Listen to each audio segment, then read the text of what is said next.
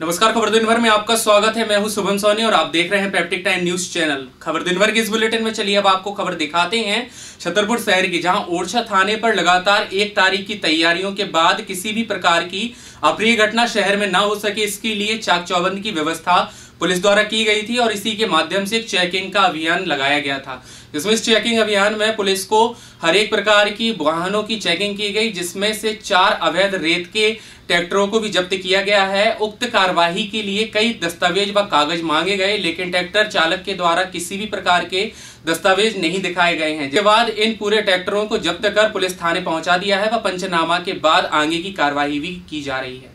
Peptic town के सामने मैं पूरे बल के साथ वाहन चेकिंग कर रहा था। चेकिंग के दौरान एक ट्रैक्टर गुजरे, वहाँ पर अपने सीएसपी साहब भी आ गए थे। और इन ट्रैक्टर चालकों के द्वारा इनके कागजात मांगे गए, जो कागजात पेश नहीं किए। कागजात पेश न करने पर इनके ऊपर पंचनामा तैयार किया गया और इन ट्रैक्टरों को थाना परिसर में ले खड़ा कर दिया गया है।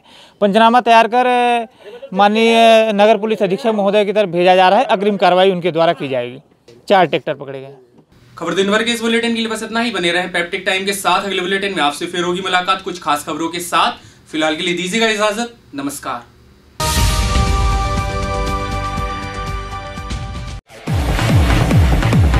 त्योहारों के इस सीज़न में अपनी खरीदारी को बनाइए और भी अधिक किफायती और उपहारों से भरी हुई।